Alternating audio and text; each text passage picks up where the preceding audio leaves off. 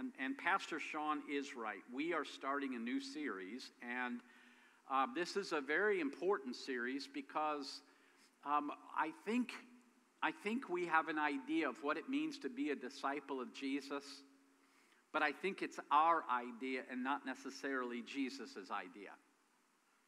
So, what I would like to do is, is really paint a picture of what the Bible says. Here's, here's what it means to follow Jesus. Here's what it means to be, to be a disciple of Jesus.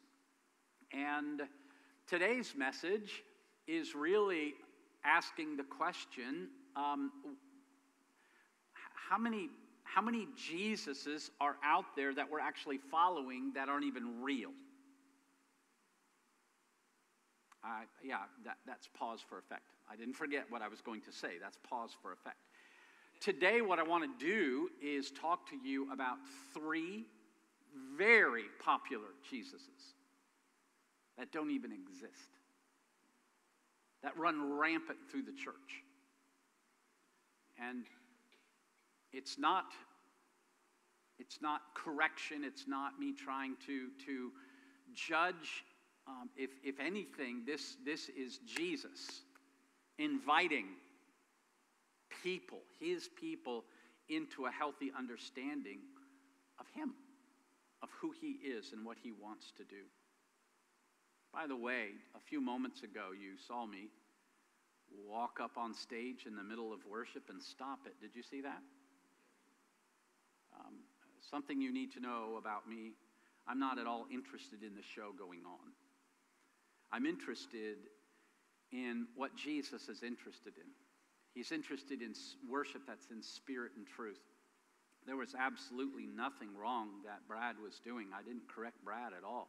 What I, I said to Brad when I walked up here is Brad, do you, do you feel that feeling that we've talked about? Do you feel the disconnect between the congregation and the Lord? And he goes, I sure do.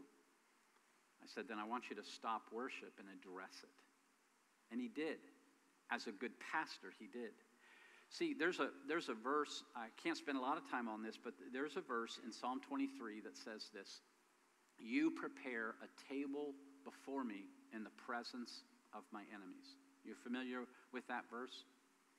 See, God's the one who prepares the table. We come in and eat, but sometimes when we come in, our hands are dirty, our clothes are dirty, we got we've got all kinds of stuff. When, when I say dirty, I'm not saying sinful. It's just, it's just, it's corrupt, but not evil. It's just this world. It's, it's cancer. It's what am I going to do about my finances? I'm so depressed right now. There's, there's all these things that are around us, right? And we carry it into the presence of God. And, and God's made this feast for us. We're eating right now. We've been eating for, for the last half hour. We're, we're in His presence together, corporately, and He loves that. We're going to have that forever. So we're eating, but it's our, our hearts and hands aren't clean. Not that it's sinful, it's just we're bringing in things. And, and we're here, and, and God's wanting our eyes to come up and be on Him. That's where, that's where you begin to feel intimacy with Him corporately, is when our eyes together are fixed on Him. I felt that. I just felt the heaviness. So I stopped the show. It's not a show, but I stopped the show. And I, I asked our worship pastor to help lead us to a place. And didn't you feel it immediately?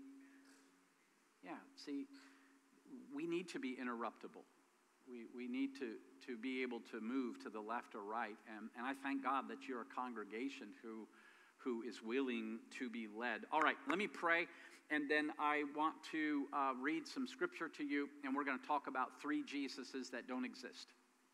Father, I just want to thank you for today. This is really good worship. When we sense your leading and, and we follow you in obedience, and we receive from you what you want because, Lord, you are making a table before us in the presence of our enemy. Our enemies are all around us and they, they, they, they just want to put their talons in us and drag us down and keep our eyes on the things that, that this world tells us we should be thinking about. But Lord, we set those things down as important as they are and we focus upon you. You are life, you are truth, and you are the way. So we focus on you today. Jesus, thank you for being right here with us right now in the presence of your Spirit. Holy Spirit, you are in us, you are around us. You, you, you have your arms all the way wrapped around us right now, and, and that includes people online, our friends in Cuba, Lord, all over, all over the world right now. Anybody that's connected with, with what's going on in this moment, in this space, your arms are around us and you're drawing us in. We want to see you and experience you and to know you. In Jesus' name, amen. So, how do you know if you're following the right Jesus? I know what you're thinking. Come on. There's no way I'm not following the right Jesus. I'm following the right Jesus. Nobody makes that mistake. Can I offer you um, maybe just a, biblical picture? A, a picture. This, this comes out of Matthew chapter 7, verse 21. Let me just read this. Jesus said, Not everyone who says to me, Lord, Lord, will enter the kingdom of heaven, but the one who does the will of my Father who is in heaven. On that day, many will say to me, Lord, Lord, did we not prophesy in your name and cast out demons in your name and do many mighty works in your name? And then will I declare to them, I never knew you. Depart from me, you workers of lawlessness. So, so clearly, when Jesus says many, he was talking about people who thought they were following God, but weren't. Well, Pastor, come on. Those, those, were, those were people who were Jews, and he's, he's referencing the Jewish people missing the Messiah. So, so that's what that's about. That's not necessarily something that applies to the local church of today. I would like to introduce to the court evidence number two. Paul, in 2 Corinthians chapter 11, in his deep love and, and compassion for the church at Corinth, he, he says this I wish you would bear with me in a little foolishness. Do bear with me. For I feel a divine jealousy for you since I betrothed you to one husband to present you as a pure virgin to Christ. But I'm afraid that as the serpent deceived Eve by his cunning, your thoughts will be led astray from a sincere and pure devotion to Christ. Now, check this out. Verse 4. For someone comes and proclaims another Jesus than the one we proclaimed. Or if you receive a different spirit from the one you received, or if you accept a different gospel from the one you accepted, you put up with it readily enough. Paul's deep concern for this church is that they were going to be led astray by a Jesus that didn't even exist.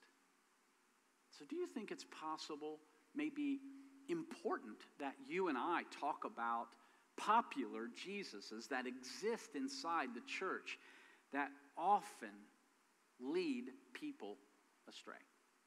I think that's super important. So I have three for you in the few moments that we have together today.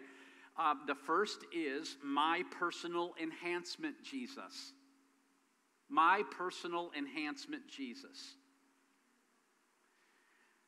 Sometimes we never knew the right Jesus.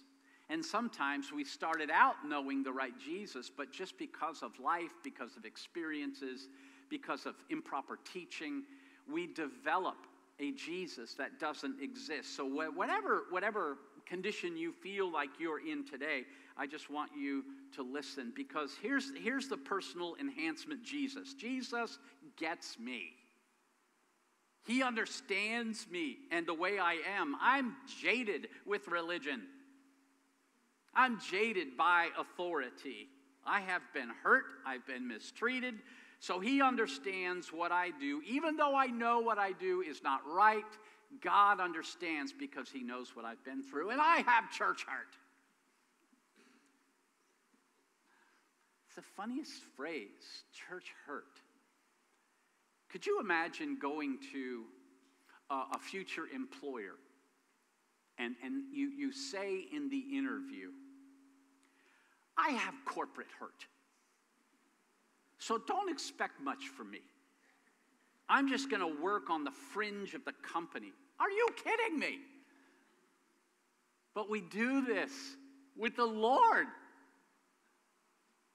We, we operate on the fringe. Here, here's two things that will help you see if you're following this unreal Jesus. Um, there are things that you do that you know are wrong, but you overlook it and you make excuses because of what you've been through. And you stand back from personal engagement with other people that Jesus, the real Jesus, would lead you into. Now, there's times for rest and there's times to heal and be restored. I am not saying that. I, am saying that we, we have to take respite and rest and heal.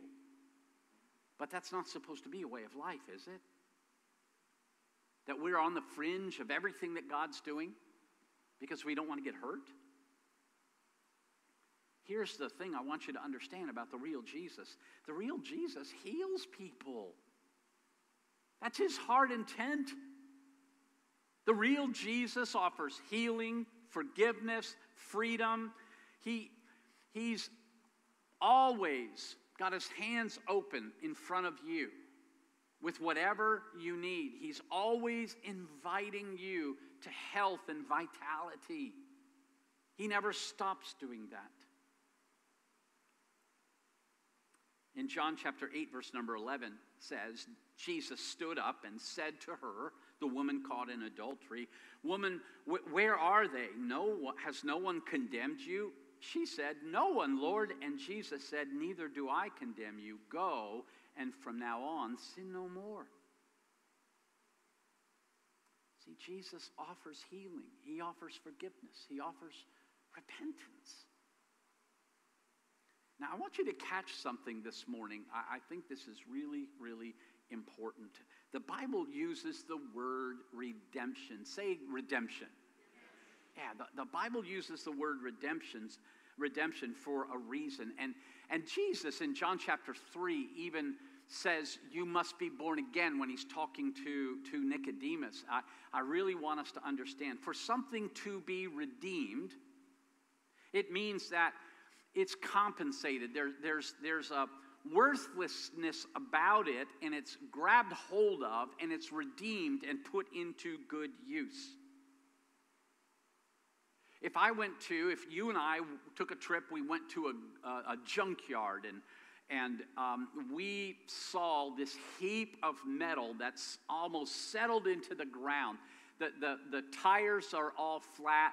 The rims are like halfway underground. The seats have all been chewed up by rats. The steering wheel is, is gone. The engine is in pieces. The roof is, is rusted out and water. There's grass going, growing inside the cab. You, you would look at that and go, that is worthless.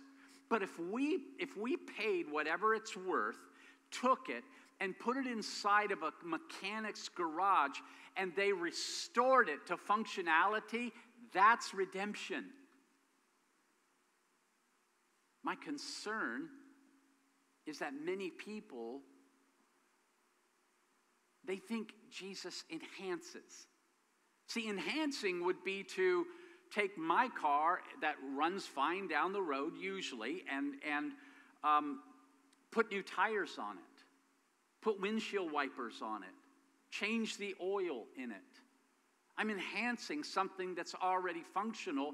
And many people come to Jesus, not a real Jesus, and they say, Jesus, I just want you to make my life better. Did you know that Jesus has no interest in making your life better until your life has been redeemed? He doesn't and won't enhance anybody's life until they come to the place where they see themselves like that rusted out junk in the yard. That has to be purchased. It has to be built from the ground up. And anybody who believes that I'm starting a relationship with Jesus so he can enhance my life, that is not the real Jesus. Because he doesn't do that. In Luke chapter 14, verse number uh, 33, we'll, we'll talk about this in just a few minutes, but um, a little bit more. But um, Jesus said something very telling, very interesting. I have not heard many messages on this before. It's what prompted the comparison between uh, a vehicle being enhanced and a, and a vehicle being completely redeemed and restored. Listen to what Jesus said. He said, So therefore, anyone who does not renounce all that he has cannot be my disciple. Do you hear any enhancement in that at all? I don't. I, what, what that leads me to think about and try to uh, understand is, is how I see me is going to determine how I need him how I need Jesus. If I see myself as doing fine, but, but I just really want my ticket to heaven, um, and, and I see myself as fine, there's just certain areas of my life I'd really like to see under control. Jesus, I just need you to make my life better. Then I'm not following the real Jesus. But if I see myself as that junk, and Jesus is going to purchase me with his blood, put me in his garage, and he's going to restore the engine and the windshield and windshield wipers and put new oil in me. He's going to put fresh tires on me. He's going to paint the outside so it looks good.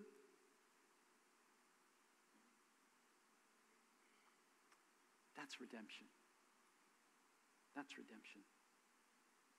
So let's talk about the second Jesus. This is the my culturally accepting Jesus my culturally accepting Jesus. You see, Jesus doesn't follow culture as much as he makes culture. And people follow culture. We're really good at following culture. But, but Jesus shows up in our lives and he gives us the culture of heaven. And then we have a choice. I'm either going to follow the culture of earth or I'm going to follow the culture of heaven, but you can't have both and, and do well at all. There's two things that will help you see if you're following this unreal Jesus. Number one, you're searching for a church that will accept you for who you think you are. And you might often bounce from church to church to church to church, waiting for somebody to give you permission to believe what you want to believe so that you can live the way that you want to live. And there's underlying anger for the church because you think they're so righteous. And it's not the church you're angry at, it's the Holy Spirit because he brings conviction. See, the real Jesus will draw you out of earthly culture. He won't push you into it, He draws you out of it. And this unreal Jesus lets you do whatever everybody else is doing, and that Jesus wants you to be happy. Jesus wants me to be happy. It's my rights, it's my entitlements, it's what I want to have around me that creates the Jesus that lets me live the way I want to live.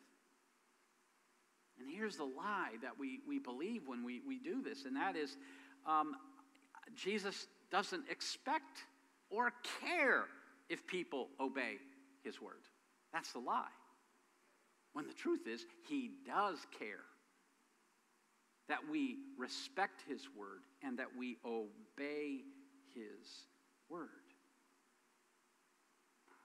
And if this is you, I think you might be more interested in finding something that supports your way of life rather than Jesus being the way, the truth, and the life.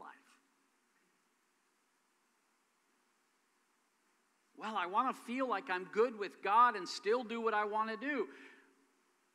So I'm going to attribute to God what I believe. So God now believes what I believe. I don't believe what He believes, He believes what I believe. And I have a simple question for you Who's, who's God in that scenario? But that's how so many people today are. Well, I don't believe the Bible. I know. Because if you did, you wouldn't believe what you do about Jesus. And that's why I'm telling you, and that's why the Apostle Paul said, I'm so deeply concerned that you're following the wrong Jesus. A Jesus that you've made, or maybe other people have made, and now it makes sense to you. There's there's things in the Bible that change, like should we have a church service, a church gathering in a big building or a little building? Should we have long hair or short hair? Do we wear casual clothes or do we wear do we wear formal clothes?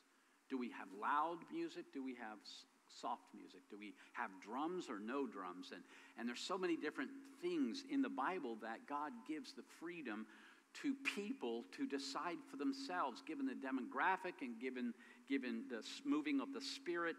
There are things in the Bible that change for sure, but there are also things that never change. All biblical truth is universal. It applies across culture, it applies across time.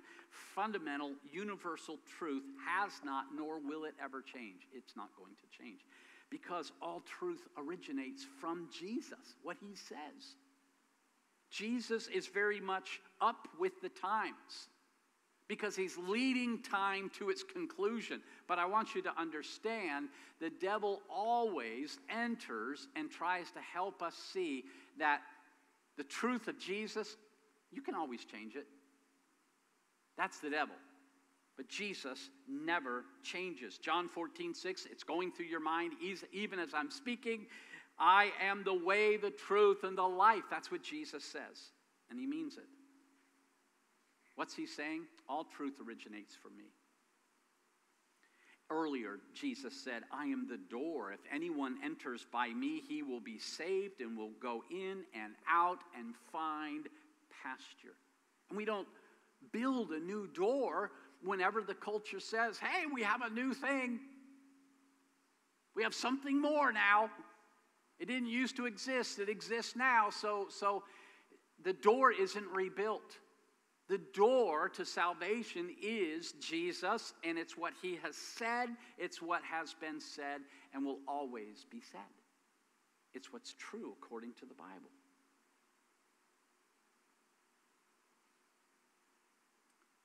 Here's the last Jesus that I think is quite popular, and that's the my religious Jesus. My religious Jesus. And that's where we, we search for Jesus in songs and services on the weekend.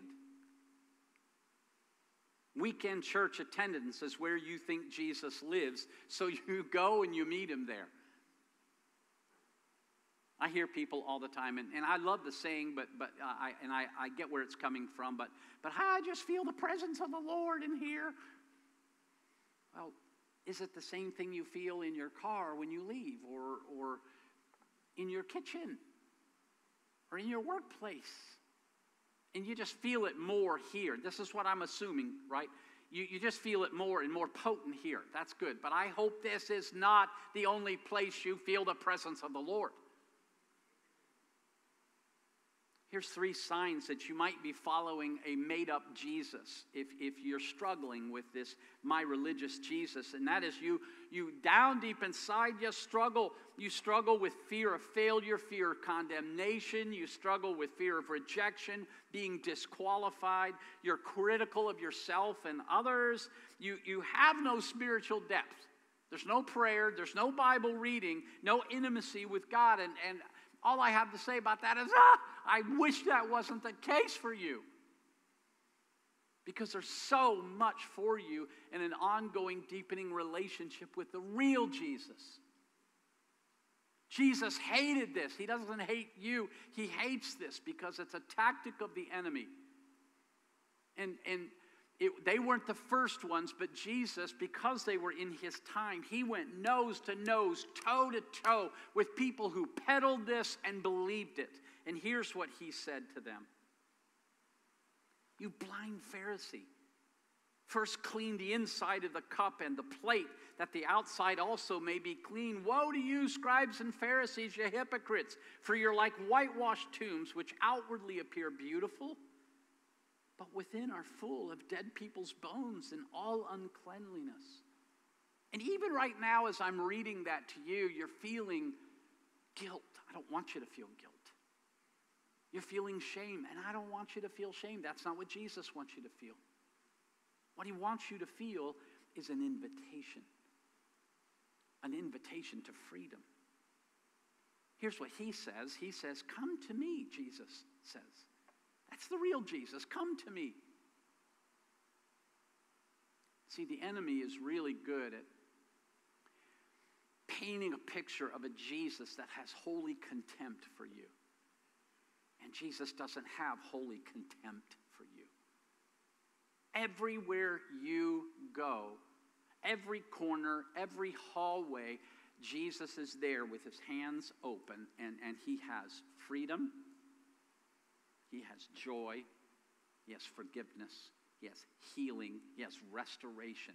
Eh, do you realize everywhere you go, and He's inviting you to know who He really is because we try like crazy to, to live righteous, and we think this, this hour or so that we have together this, this is the place where I'm going to find that, that righteousness. And I know my insides are broken, and I'm trying to do the best I can with the outside. And Jesus says, I have everything you need to heal and restore the inside. So the outside looks like the inside, but this unreal Jesus communicates to you and says, No, I'm just interested on the outside. Just look good. I'll take care of everything in heaven so don't even worry about what's on the inside. Jesus, the real Jesus, is saying, I always worry about what's on the inside. So please don't be deceived. Paul is, it's like the, the bottom of his soul is just being, it's bulging and about ready to burst because he's so concerned about the people in the churches that he oversees. You're following the wrong Jesus if you're doing these things. And the real Jesus is right by you. He's right by you. And He's inviting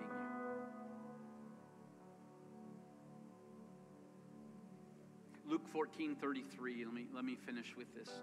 So, therefore, any of you who does not renounce all that he has cannot be my disciple. And, and would there be a prompting in your heart and in your soul today to just say, Oh, Jesus, I repent, I, I confess, I have been chasing the wrong you. And I just want to chase the right you. So I'm just, I, I, I'm going to lay down all this other stuff, all these false Jesuses. And I, I'm just coming to you humbly and I'm asking, I'm asking that you would help me see who you really are. I accept your invitation. This series that we're in is exciting to me because it's all about shaping and forming, Jesus shaping and forming us. You're going to learn, Lord willing, uh, as we go through this series what, what Jesus wants. And it's not a heavy burden, it's light. This world and the enemy and you yourself put heavy burdens on you. And Jesus is inviting you out of all of that. So today is a wonderful day to just simply say, Jesus, I repent. So I want to open up time for you to do some business with the real Jesus today. I want to invite you to um, just come and kneel and just say, Jesus, just, I, I just want to pursue the real you. And if that's all you can say, you do that. That's enough. That's enough. If you have other things that you want to talk to the Lord about this morning, then I want you to do that as well. So, would you take a moment and just bow your heads? Me pray for you this morning. And even as I'm praying, if you feel the leading of the Holy Spirit to come and just kneel or stand and just pray, then I want you to do that. Don't let anything I'm saying hold you back. You can come right now. Father, thank you for sending Jesus. Thank you that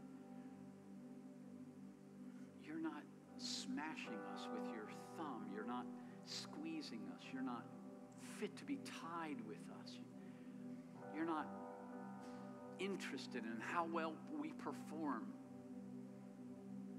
You just want a relationship with us. Inside of that relationship, you'll reveal who you are. And in understanding who you are, you will change us on the inside. And when the light of your presence helps us see us, we confess, we repent, and we move forward. God, would it be no one here, no one here would be deceived But we would all be pursuing the right Jesus. Because, Jesus, you are the way, the truth, and the life, and no one goes to the Father. No one will ever see the Father without first recognizing who you really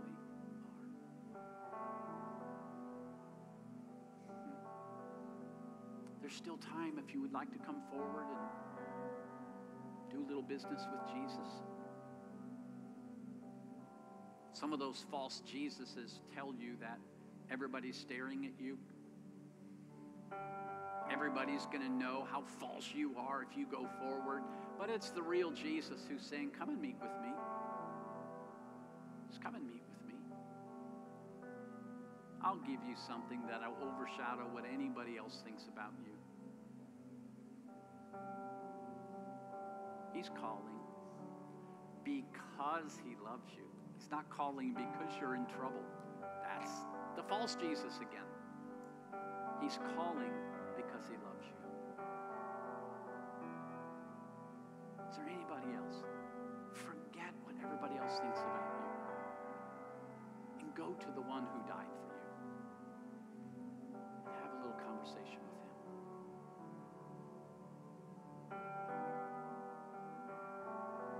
Father, thank you for today. Thank you that you want to form us so that we can hear you and know you. Oh, thank you for your grace and your